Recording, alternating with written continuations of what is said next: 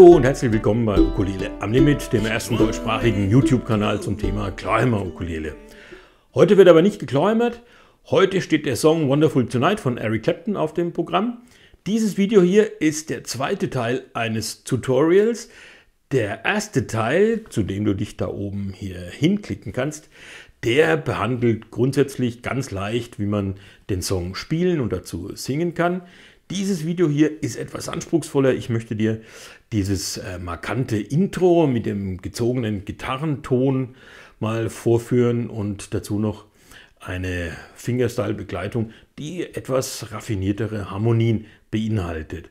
Wenn du also äh, noch nicht ganz so versiert bist, schau dir lieber erst nochmal Teil 1 des Tutorials an. Und wenn du damit klarkommst, dann komm wieder hierher und dann können wir loslegen. Falls du noch äh, Fragen oder Probleme mit ganz grundsätzlichen Aspekten des Ukulele-Spiels hast, also Fingerhaltung, Fingeranschlag, Greifen, Griffbilder lesen, Tabs lesen und so weiter, dann drück doch mal hier oben drauf. Da findest du eine Playlist und in der Playlist sind alle Folgen aus meiner Reihe Ukulele Grundlagen. Die richtet sich an Anfänger oder an Fortgeschrittene, die ihr Wissen ein bisschen auffrischen wollen.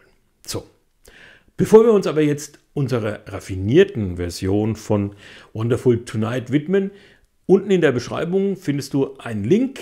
Wenn du da drauf drückst, kommst du zu einem PDF. Das kannst du dir downloaden und ausdrucken und da findest du die Tabulatur zu allem, was ich heute hier in diesem Tutorial mache. Es ist ein bisschen komplex, deswegen lad dir es runter, druck's aus. Es wird dir wirklich helfen, dich mit diesem Tutorial hier zurechtzufinden. Hast du alles beieinander, was wir brauchen? Tabs ausgedruckt, Grundlagen aufgefrischt, dann kann es losgehen. Als erstes will ich dir jetzt mal vorspielen und vorsingen, wie es am Ende klingen soll und dann arbeiten wir uns Takt für Takt durch dieses relativ schwierige Arrangement hindurch. Viel Spaß und viel Erfolg.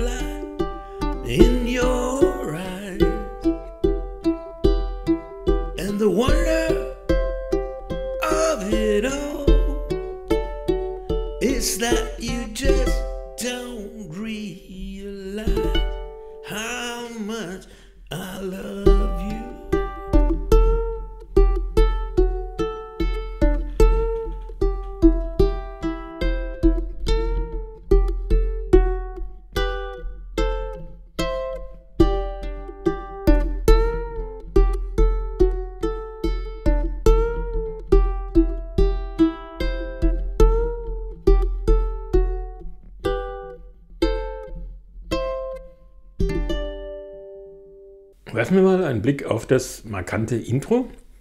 Diese kurze Gitarrenphrase, die ganz am Anfang und dann auch immer nach der Strophe kommt, die ist deswegen so markant, weil sie einen Zieher enthält. Also die Seite wird an einer Stelle gezogen. Im Englischen nennt man das Bending. Im Deutschen sagen wir, man zieht eine Seite. Und zwar ist es diese Bewegung. Man greift also Äh, die meisten ziehen so am liebsten mit dem Ringfinger, ich zum Beispiel. Zur Verstärkung nehmen wir noch Zeiger und Mittelfinger dazu.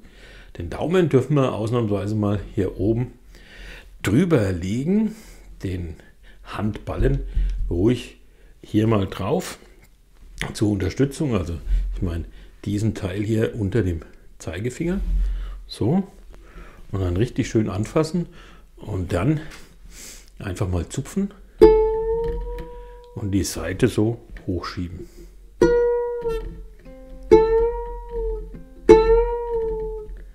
Probier es einfach mal aus. Also Daumen zur Sicherheit mal oben drüber.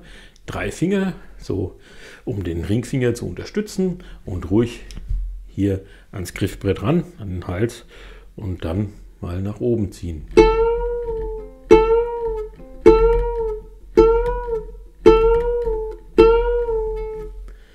Wenn du das so von der Bewegung einigermaßen drin hast, dann versuchen wir das mal etwas gezielter zu machen.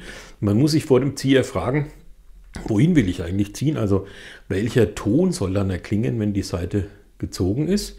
Wenn man sie nicht sieht, hat man ja in dem Fall hier ähm, ein A, also fünfte Seite, der fünfte Bund der zweiten Seite, haben wir dieses A.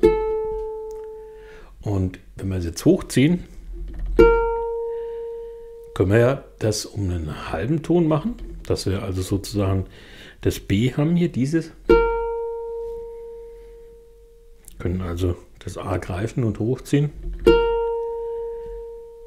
Und dann klingt es genauso wie das B hier.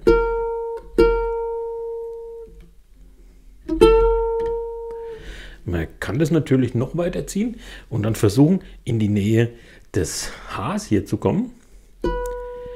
Ich versuche es mal, so gut ich kann. Äh, wer genau hinhört, merkt, dass ich es nicht ganz erreiche. Aber genau das macht den Charme von so Zieren aus, dass man manchmal zwischen den Tönen sich bewegt und dadurch erreicht man, erreicht man so einen bluesigen Sound, den man ohne Zieher nicht hinbekommt.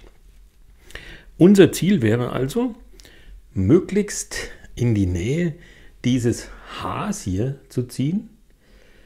Also, das wäre der Zielton. Und ich greife mit dem Ringfinger hier den fünften Bund der zweiten Seite und versuche dahin zu kommen. Ja, fast. Das Ganze muss natürlich auch irgendwie in die Melodie reinpassen. Das Intro würde ja normalerweise so klingen. Mit normalerweise meine ich ohne Zier, also.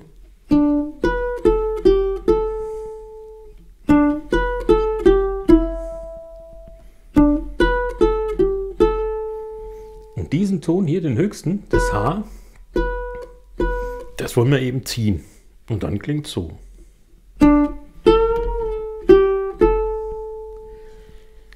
Und genau diese kleine Phrase schauen wir uns jetzt mal genauer an. Sie beginnt, wie du hier sehen kannst, im zweiten Bund der dritten Seite. Dafür nehmen wir den Zeigefinger. Und dann kommt gleich der Zieher. Und jetzt interessiert mich der Ton, der auf den Zieher folgt. Der wird nicht mit der rechten Hand angeschlagen, gezupft. Also nicht etwas so, sondern der entsteht einfach dadurch, dass wir den gezogenen Ton wieder entziehen, sozusagen entspannen und die Seite wieder in ihre normale Lage zurückkommt. Und dadurch entsteht dieser Ton automatisch. Hör mal zu, was ich meine.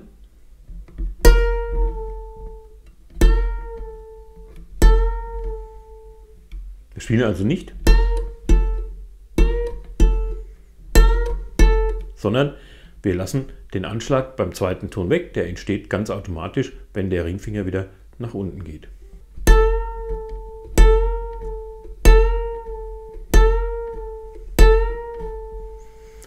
Du darfst also nach dem Ziehen auf keinen Fall mit dem Druck hier nachlassen, sondern musst mit demselben Druck wieder in die normale Seitenposition rein.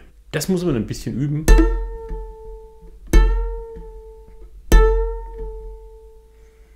Aber wenn du das übst, dann kriegst du es hin und dann klingt die Phrase so.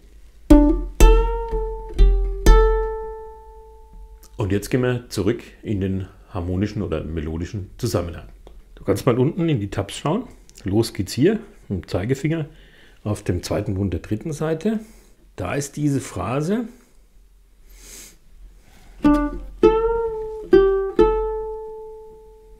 Und das müsstest du ein paar Mal probieren.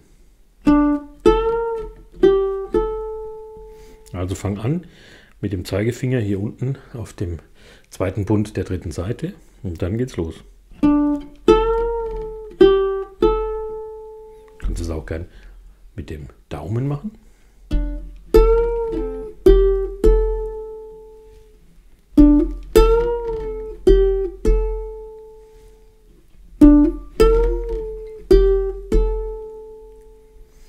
Versuch das ruhig ein paar Mal, bis du es einigermaßen drin hast. Und dann versuchen wir es im Zusammenhang mit der äh, Fingerstyle-Begleitung, die du unten in den Tabs siehst.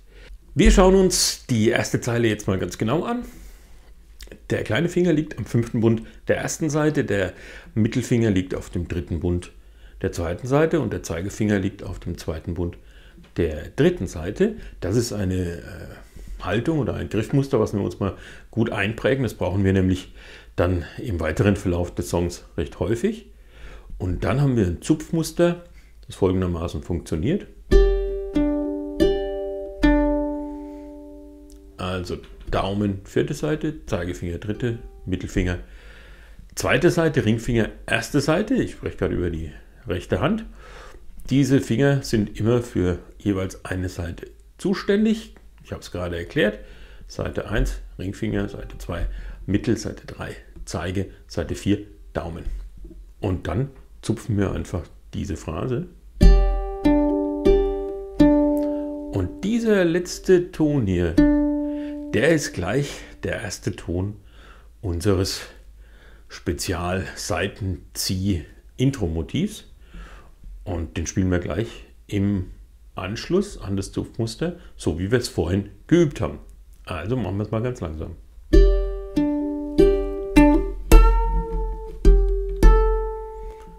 Das wäre der erste Takt.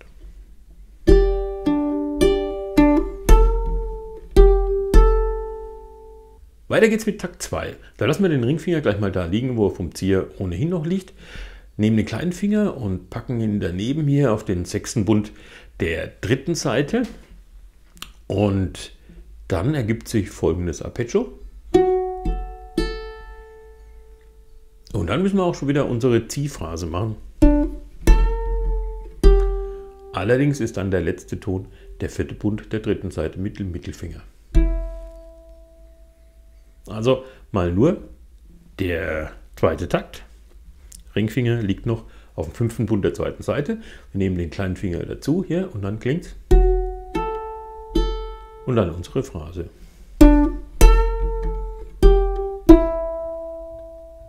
In Takt 3 lassen wir den Mittelfinger liegen, wo er noch vom Ende von Takt 2 ohnehin liegt, zupfen dann, nachdem wir den Zeigefinger auf den dritten Bund der ersten Seite gelegt haben, folgendes Muster. Ganz einfach, Daumen, Zeigefinger, Mittelfinger. Und dann machen wir unsere Phrase. Diesmal fangen wir allerdings nicht wie die ganze Zeit hier mit dem Zeigefinger im zweiten an, sondern mit dem Mittelfinger im vierten Bund.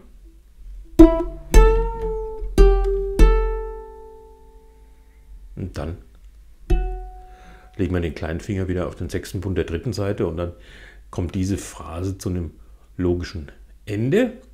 Den Rest des letzten Taktes schaue ich mir später noch genau an. Ich gehe jetzt noch mal ganz langsam durch die ersten drei Takte.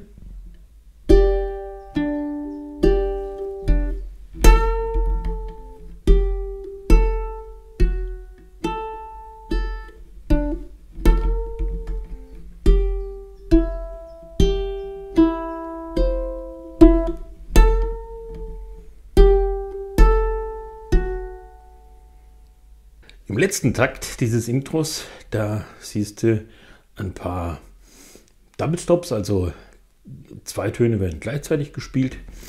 Die funktionieren so. Zeigefinger auf den zweiten Bund der ersten Seite, Mittelfinger auf den dritten Bund der zweiten Seite. Das wäre der erste Doppelklang hier. Dann Zeigefinger ein Bund nach oben auf den dritten. Hier unten auf der zweiten Seite nehmen wir den dritten Finger, den Ringfinger im fünften Bund. Und dann ein größerer Sprung, der Zeigefinger rutscht auf den siebten Bund und wir greifen mit dem Mittelfinger den achten Bund der zweiten Seite. Also im Zusammenhang.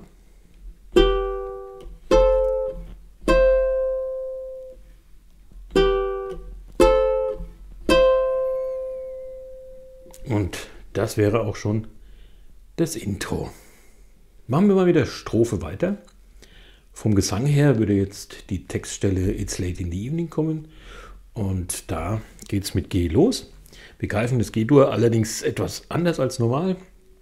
Wir nehmen den kleinen Finger, legen ihn hier auf den fünften Bund der ersten Seite, den Mittelfinger auf den dritten Bund der zweiten Seite und den Zeigefinger auf den zweiten Bund der ersten Seite. Du kannst es unten hier in den Tab sehen. Und so greifen wir unser G-Dur. Wir werden das im ganzen Stück so machen. Immer wenn G-Dur da steht, fast immer, dann greifen wir so. Und die rechte Hand macht folgendes. Mittel- und Ringfinger greifen hier erste und zweite Seite. Zeigefinger greift die dritte Seite, spielt die dritte Seite und der Daumen die vierte. Das behalten wir übrigens ziemlich konsequent im ganzen Stück so bei.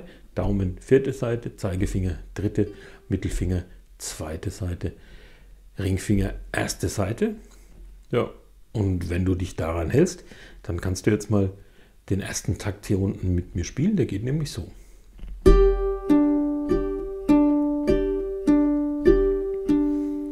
Also Daumen, Mittel- und Ringfinger, Aufschlag 1.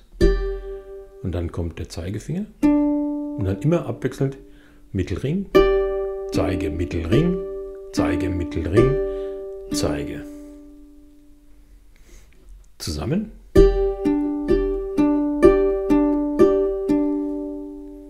Im zweiten Takt haben wir ein D4. Machen wir so. Wir nehmen den Mittelfinger weg und klappen den Zeigefinger um, sodass er die zweite und dritte Seite im Barry greift. Also vorher war es so. Jetzt umklappen. Die vierte Seite bleibt leer. Und dann klingt der Takt so.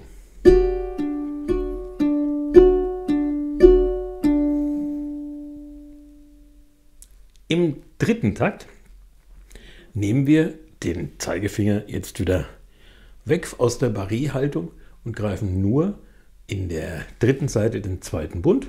So. Und dann haben wir ein C9 und das klingt so.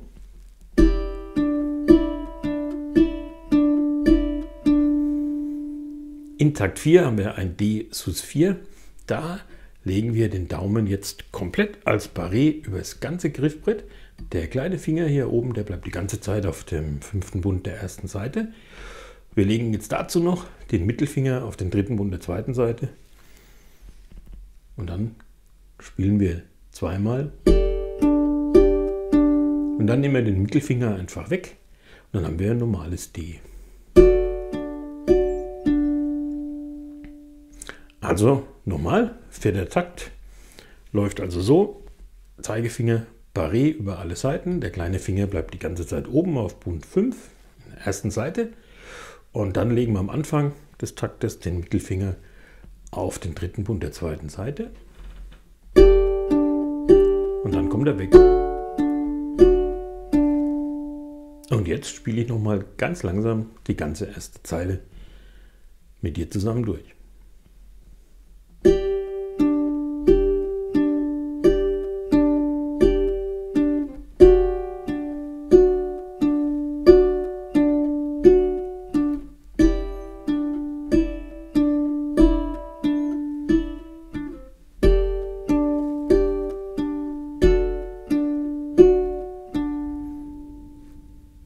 hast gemerkt, dass im vierten Takt der Daumen einen Einsatz mehr hat als in den anderen. Der spielt nämlich auf Schlag 1 und auf Schlag 3. Hör nochmal genau zu.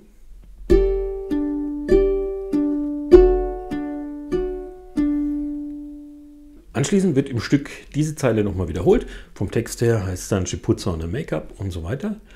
Und anschließend geht es dann in die Passage And then she asks me. Und das wäre hier diese Zeile ab Takt 9. Und die spielen wir jetzt auch mal ganz langsam durch. Wir spielen zur Abwechslung mal ein ganz normales C. Der kleine Finger kommt weg vom fünften Bund der ersten Seite. Das Tupfmuster kennst du schon.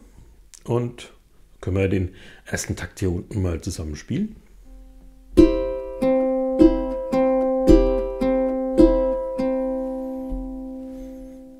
Damit sich das Ganze etwas abhebt von der Zeile vorhin, habe ich jetzt den Daumen immer auf dem dritten Schlag des Taktes nochmal zum Einsatz gebracht.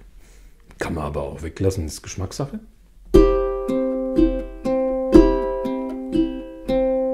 Dann haben wir in diesem Takt dasselbe wie vorhin. Jesus 4. Also so, Zeigefinger quer über alle Seiten, kleine Finger oben auf Bund 5 und am Anfang des Taktes kommt der Mittelfinger noch auf den dritten Bund der zweiten Seite und dann kommt er weg. Also spielen wir nochmal die zwei ersten Takte von dieser Zeile hier unten.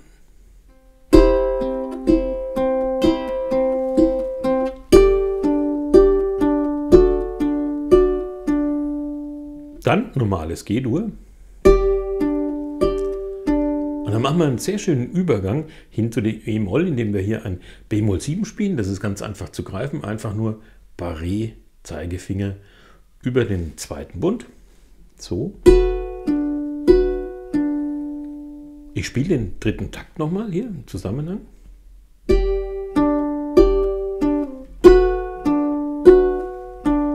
Und jetzt kommt ein E-Moll 4.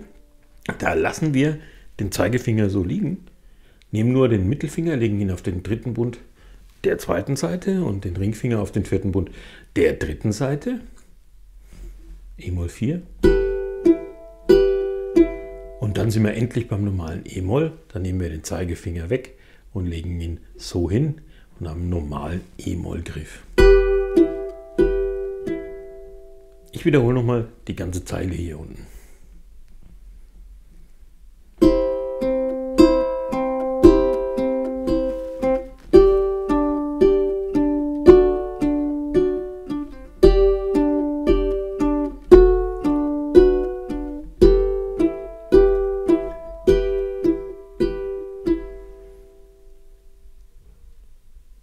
Und dann sind wir angelangt bei And I say yes, you look wonderful tonight. Da brauchen wir nochmal C-Dur.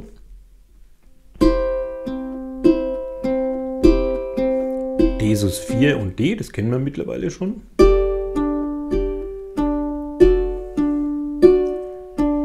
Und dann G-Dur. Und jetzt will ich mal gleich in diese Brücke reingehen, in dieses I feel wonderful because I see. Und da brauchen wir ein G7 und da spielen wir ganz normal, nämlich wir greifen G7, Ringfinger auf dem zweiten Bund der ersten Seite, Zeigefinger auf dem ersten Bund der zweiten Seite und Mittelfinger auf dem zweiten Bund der dritten Seite.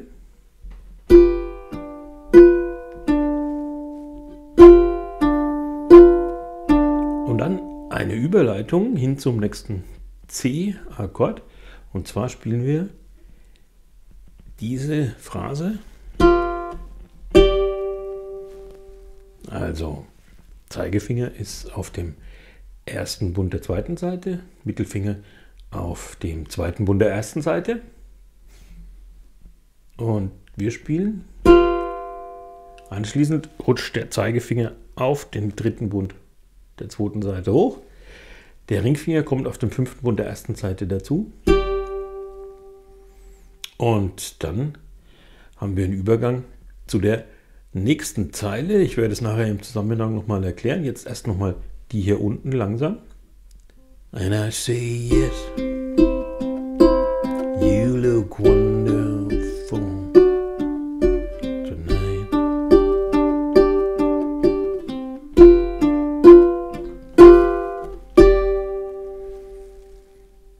Ja, und jetzt geht's weiter mit I Feel Wonderful. Und da gehen wir im Griffbrett ganz schön nach oben. Nochmal zur Erinnerung, hier unten die zwei letzten Griffe aus der letzten Zeile. I feel. Und jetzt geht's los. Zeigefinger als Barré-Griff hier im siebten Bund. Dazu den Mittelfinger auf den achten Bund der zweiten Seite.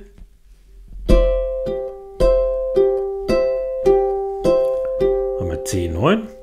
Dann den Barré nach unten schieben auf den fünften Bund. Der Mittelfinger geht auf den sechsten Bund der dritten Seite.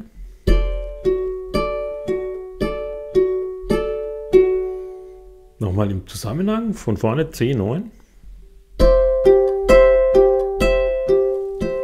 D7. Und jetzt haben wir wieder diesen schönen Übergang von G-Dur nach E-Moll, den wir schon aus der dritten Zeile kennen. G-Dur, B-Moll 7, E-Moll 4. Normales E-Moll. Noch einmal im Zusammenhang. I feel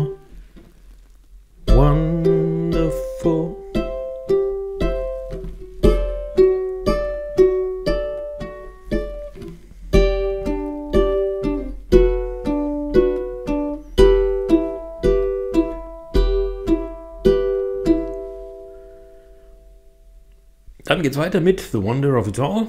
Geht eigentlich genauso hier unten. Das ist jetzt die letzte Zeile, durch die wir uns kämpfen müssen. Parigriff im siebten Bund, Mittelfinger auf den achten Bund der zweiten Seite. Anschließend das D7, Parigriff runterrutschen, Mittelfinger auf den sechsten Bund der dritten Seite.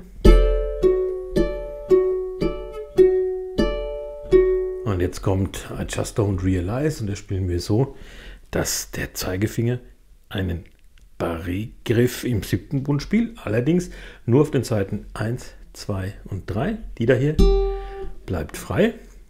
Und dann legen wir dazu noch den Mittelfinger auf den achten Bund der zweiten Seite. Klingt dann so. Und zu guter Letzt haben wir dann denselben Griff hier nur zwei Bünde weiter oben, nämlich Zeigefinger im neunten Bund, Barré-Griff über die Seiten 1, 2, 3, Mittelfinger im zehnten Bund in der zweiten Seite.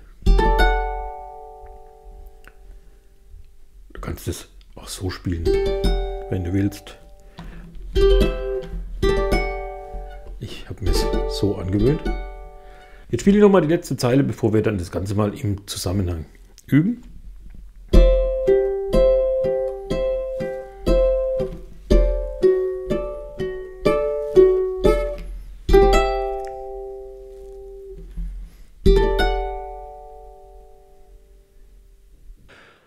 Puh, das war ein hartes Stück Arbeit heute. Wenn du es bis hierhin durchgehalten hast, Glückwunsch. Jetzt würde ich sagen, spul zurück. Am Anfang des Tutorials habe ich ja mal vorgespielt und vorgesungen, wie es klingen soll. Versuch mitzuspielen und mitzusingen. Wenn du noch Lust auf weitere schöne Ukulele-Songs hast, drücke oben drauf. Da ist die Playlist mit allen Folgen aus meiner Reihe Ukulele leicht gemacht. Ansonsten gerne mal ein Like hinterlassen, Kanal abonnieren und ja, fleißig üben. Wonderful Tonight. Es ist ein absoluter Klassiker. Am Valentinstag ein absolutes Must-Have bei jedem Lagerfeuer. Eine ganz sichere Bank. Also die Mühe lohnt sich. Bis dann.